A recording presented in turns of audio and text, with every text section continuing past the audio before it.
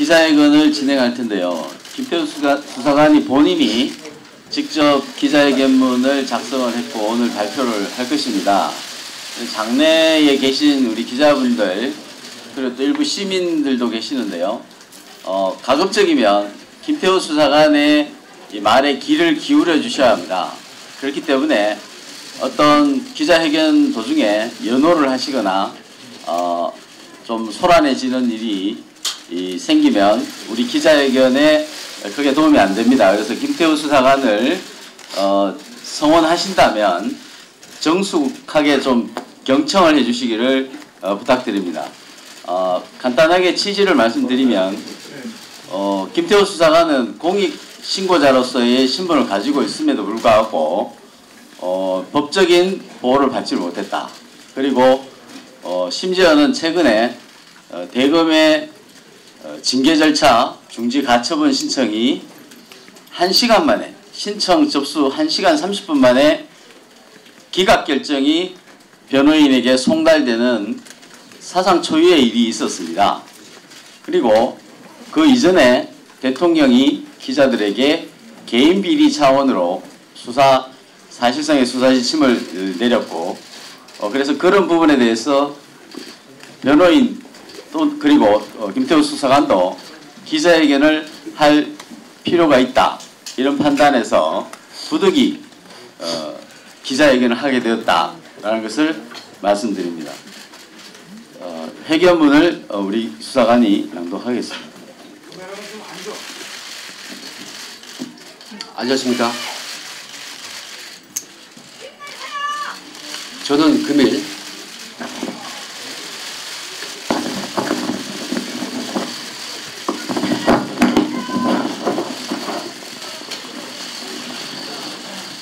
저는 금일 2018년 12월 14일자 SBS 8시 뉴스를 시작으로 제가 제보하였던 일련의 상황에 대하여 제보 내용의 정확성을 확인드리고 그에 대하여 올바른 평가를 바라는 마음에서 이 자리를 마련하게 되었습니다.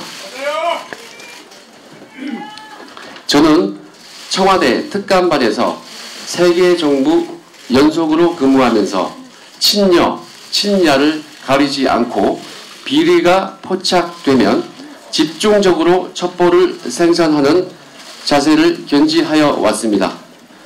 눈치를 보며 일을 할 것이면 검찰 수사관을 진작에 그만두었을 것이며 이 길을 걸어오지 않았을 것입니다.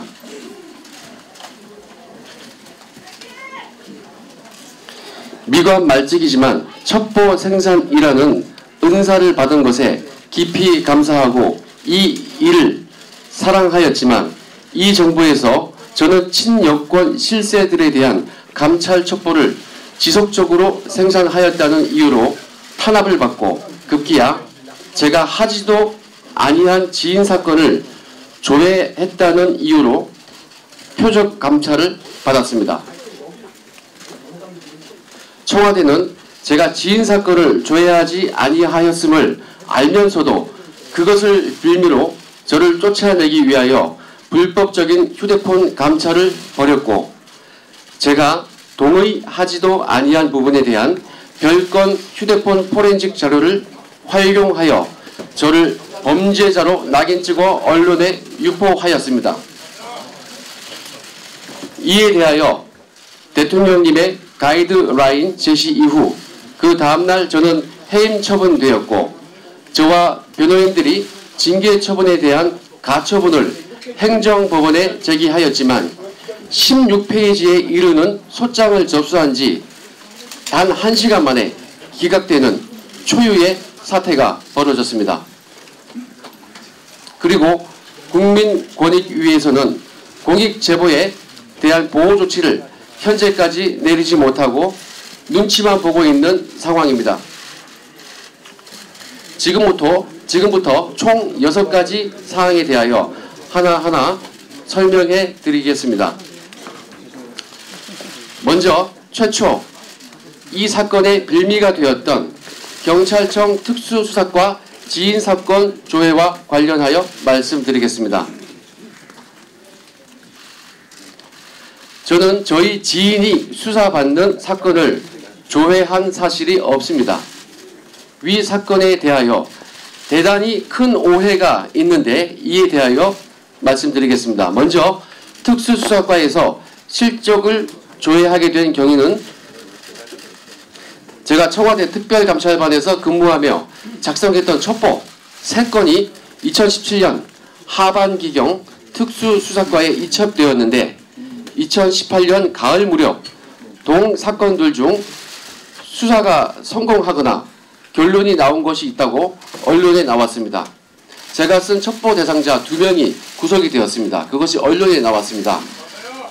실적 규모를 확인하기 위해 2018년 11월 2일 오후 경찰청 특수수사과를 찾아갔습니다. 찾아가기 전에 저는 저희 직속 상관인 김태곤 검찰 사무관에게 말했습니다. 제가 쓴 첩보로 특수수사과에서 혐의자를 구속시켰습니다. 라며 언론 기사 출력물을 보여주니 김태곤 사무관은 특감반 연말 실적을 확인하여 수석님께 보고해야 하니 한번 알아봐라 라고 지시하였습니다.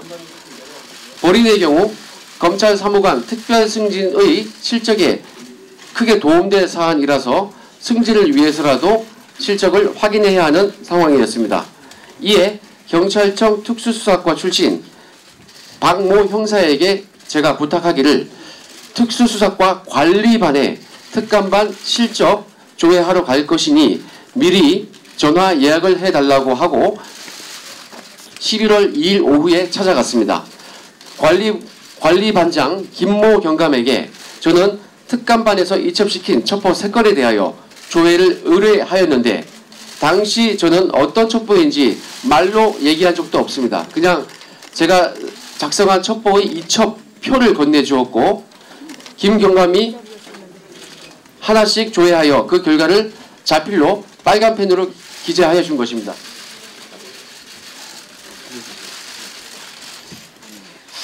제가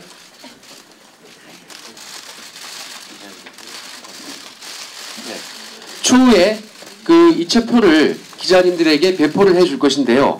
거기에는 제가 쓴 첩보 제목과 작성자, 이첩 일자, 이첩 기관이 기재되어 있습니다.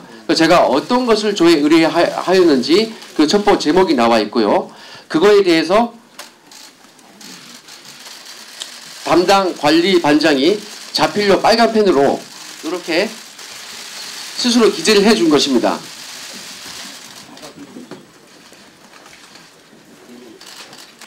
요 표 밑에 이 표와 파란 글씨만 제가 가져갔던 것이고 이거를 보고 아예 건네줬습니다. 그리고 그 김경감이 이걸 보고 자발적으로 빨간 글씨와 같이 자필로 기재를 해준 것, 준 것입니다. 당시 몇 분 걸리지도 않았고 첩보 제목을 제 입으로 말할 필요도 없었습니다.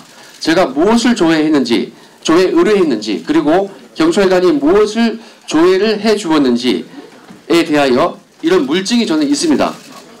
그 과정에서 저희 지인이 관련된 사건을 제가 묻거나 지인의 이름이나 지인의 회사는 일체 언급한 사실이 없습니다. 이 사진 파일에 기재된 첩보들 중에서 두 번째 국토부 관련 첩보가 문제가 된 것인데 위 첩보는 오히려 저희 지인이 저에게 제보를 해준 사건입니다. 그러므로 그 지인이 수사를 받는 사건이 전혀 아닙니다. 그런데 반대의 상황이 언론에 오보가 났습니다. 경찰청 방문 직후 경찰청의 누군가가 반부패 비서관에게 전화하여 제가 조회하지도 아니한 지인 사건을 조회 의뢰했다라면서 엉뚱한 항의를 했습니다. 나중에 감찰까지 받고 나서 제가 하도 이상해서 그 박 형사에게 물어봤습니다. 그랬더니 박 형사 왈 특감반에 실적 조회하러 간다고 말을 전한 것이 아니고 그분이 실수로 제가 점검하러 왔다고 잘못 얘기해가지고 이 말을 전해들은 경찰관들이 기분이 나빠서 저를 엉뚱하게 오해한 것으로 저는 추정하고 있습니다. 최근 위 특수수사과 경찰관들이 진실을 말하고 있고 대검 감찰본부에서도 제가 지인 사건을 조회하거나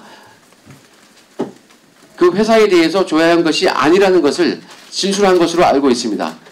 이에 대하여 조선일보 기자들이 위 경찰관들을 직접 취재한 결과 제가 지인 사건을 조회하거나 그 사건에 개입한 사실이 없다는 것을 배포한 자료에 있는 기사와 같이 확인하였습니다. 그 기사의 내용 중 중요 사항만 얘기하면은 경찰 측은 김 수사관이 해당 시점에 경찰청을 찾은 건 맞지만 최 씨에 대한 언급은 전혀 없었다. 경찰 관계자는 본지 통화에서 김 수사관이 최 씨에 대해 전혀 언급하지 않았, 않았다. 당시 최 씨 조사를 담당한 경찰도 김 수사관이 경찰청을 찾은 사실을 몰랐다. 이런 내용입니다. 이 정도면 제가 지인 사건을 조회하지 아니한 것이 밝혀졌다고 생각됩니다. 저는 11월 28일 제가 지인 사건을 조회했다는 KBS 보도로 인하여 20년 공직 인생이 끝나버렸습니다.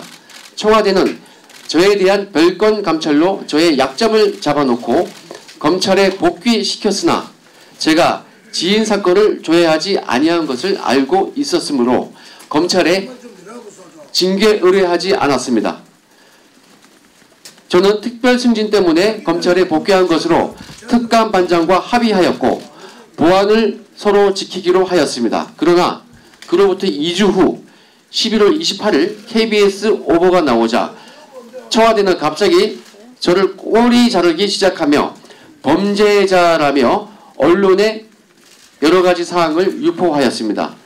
이에 저는 본인의 명예를 지키고 청와대의 직권 남용, 직무유기 등의 범죄 행각을 공익을 위해 공표하기로 마음먹고 청와대와 외로운 싸움을 시작하게 된 것입니다. 지금부터 하나씩 사례를 들어 말씀드리겠습니다. 조국 수석의 인사검증 실패 사례에 대하여 말씀드리겠습니다. 지난해 마지막 날 국회 운영위원회 당일 조국 수석이 인사검증 관련하여 7대 원칙에 맞게 인사검증을 하였고 원칙에 벗어난 인사는 한 명도 없다고 주장했습니다. 그러나 과학기술자문회의 부의장 염한웅의 경우 음주운전 취소 전력이 2회 있었음에도 불구하고 청와대는 2017년 8월 30날 임명을 강행하였습니다. 저는 염한웅이 임명된 직후인 2017년 9월 1일 염한웅이 음주운전으로 2회 면허 취소되었다는 내용의 감찰 보고서를 올렸고 9월 6일자에도 추가로 보고하였습니다. 이에 따르면 청와대는 염한웅에 대한 부의장 임명을 취소했어야 하는데 그러하지 않았습니다. 저희 보고 이후 며칠 뒤 9월 11일자 경향신문에서 이 사실을 지적하였습니다. 앞서 문재인 대통령은 2017년 5월 29일 수석 보좌관 회의를 주재하면서 정치자금법 위반, 선거법 위반, 그리고 음주운전 등을 5대 비리보다 더 큰 문제로 거론한 바 있습니다. 5대 범죄는 병역 면탈, 부동산 투기, 위장 전입, 세금 탈루, 논문 표절입니다. 염한웅의 음주운전 전력은 정지도 아닌 취소만 2회였습니다. 위 경향신문 기사를 보면 염한웅 부의장이 말하기를 청와대도 인사검증 과정에서 음주운전으로 본인이 두 차례 면허 취소 처분을 받은 사실을 알고 있었다라고 하였습니다. 그럼에도 불구하고 임명을 강행한 것은 청와대가 스스로 정한 원칙을 저버린 행위입니다. 조국 수석과 대통령께서 염한웅의 음주운전 2회 취소 사실을 알고도 임명을 강행했다면 이보다 더 큰 문제는 없을 것입니다. 경향신문 기사에 따르면 조국 수석은 인사검증 과정에서 이를 알고 있었던 것이 분명합니다. 그런데 대통령께서 이를 모르고 임명을 강행했다면 조국 수석은 대통령께 보고하지도 않은 것입니다. 만약 대통령께 보고하지 아니하였다면 심각한 직무유기입니다.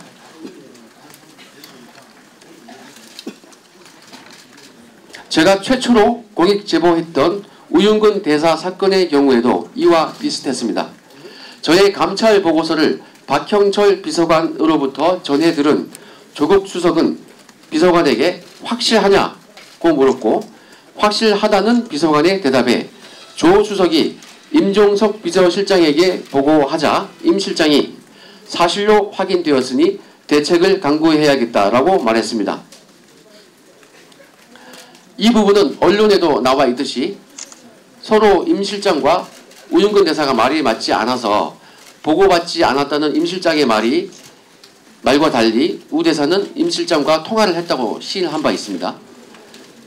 그럼에도 불구하고 조치는커녕 비서관은 특감 반장을 통하여 저에게 보안을 잘 지키라고 하였고 그로부터 한 달도 되지 않아 우윤근이 러시아 대사로 임명되었습니다.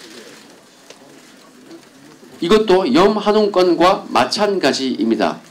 수석과 비서실장, 대통령께서 이를 모두 알고도 임명을 강행하였다면 정말로 큰 문제이고 대통령께서 모르셨다면 수석과 실장은 대통령에게 보고도 하지 않고 눈과 귀를 가린 것입니다. 인사와 관련하여 제가 올린 감찰 보고서는 모두 묵살되었는데 그 대상자를 말씀드리면 우윤근 러시아 대사, 염한웅 부의장, 김상균 철도시설공단 이사장이 대표적입니다. 이번 정부의 인사검증 또는 감찰 과정에서는 공통점이 하나 있습니다. 바로 대상자 또는 감찰 혐의자에게 혐의 내용을 직접 물어보는 것입니다. 잘못한 사람이 예, 제가 잘못했습니다. 라고 스스로 시인하는 경우가 얼마나 있겠습니까?